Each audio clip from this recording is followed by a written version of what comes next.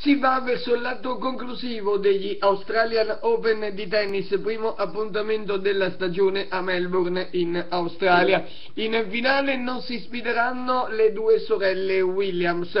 Infatti Serena si è abbattuta con un doppio 6-2 la Cibulkova, la sorella invece ha perso il derby contro la 19enne Case con il punteggio di 6-3, 4-6, 6-4. Ha fatto sensazione in campo maschile la clamorosa eliminazione prestazione dello spagnolo Rafa Nadal ad opera del tedesco Verdic. Buone notizie invece per l'Italia con Fognini e Bonelli che si sono qualificati per le semifinali del torneo di doppio battendo per 7-6, 7-5, 7-6, 7-5. I due risultati si riferiscono ai tie break dei due set. La coppia formata dall'uruguaiano Cuevas e dallo spagnolo Marrero. Prossimi avversari sarà una coppia olandese-rumena.